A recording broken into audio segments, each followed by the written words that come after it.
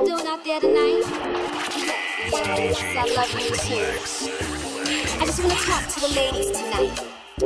For all you ladies that done had your heart broken, I done had my heart broken too, so I can relate, you know. So if it's okay with you, I'm just gonna break it down for the fellas that don't know that they can break a woman's heart. Alright?